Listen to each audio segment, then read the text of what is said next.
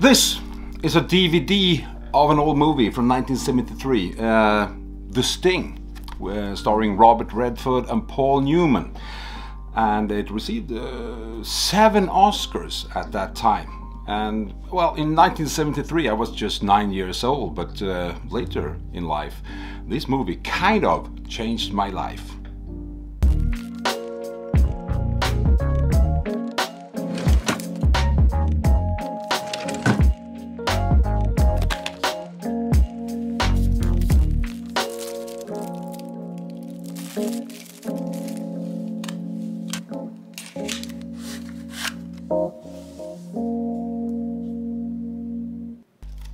So, the sting.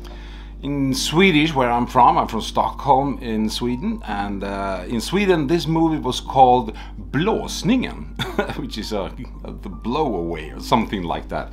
I found this in a gas station. it was, uh, what could it be? Uh, 30 kronor, which is about $3 or something like that. And uh, this is nice, though. It's a nice concept for a movie. There are two conmen in the 1930s, Chicago. After a friend is killed by the mob, they try to get even by attempting to pull out the ultimate sting. No one is to be trusted as the twists unfold, leading up to the one of the greatest double crosses in movie history. The con is out. Yeah, nice concept. Anyway, um, actually, I, I don't remember anything from this movie apart from one scene where Paul Newman, uh, he was, uh, they are going into play some poker, and he is a cheat, he's a con man, and he did some card slides. Let me just show you a little bit from that scene.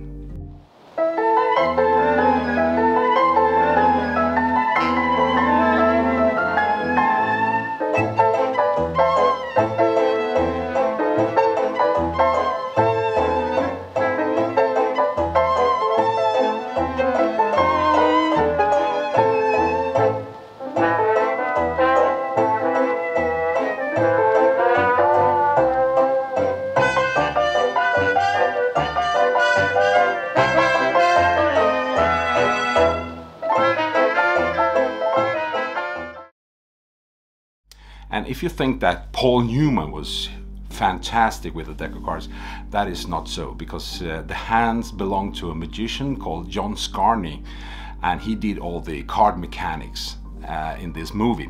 Anyway, uh, only this brief moment influenced me so much that I wanted to do this. My purpose with this is actually uh, I'm going to try to reenact everything uh, that John Scarne did. Uh, well, Paul Newman if you like to. Uh, well, look at this.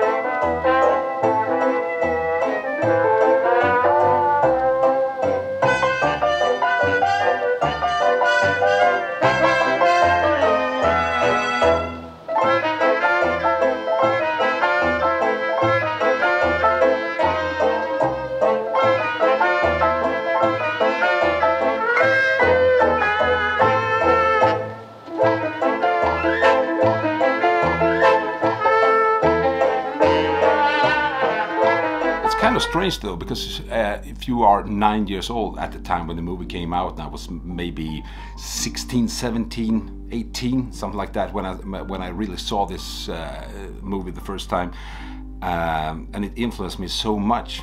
I was sitting in my home in the northern part of Sweden uh, with the cards and, and dealing the cards and kept on doing that and uh, well now since I was 20 years old it has been my profession.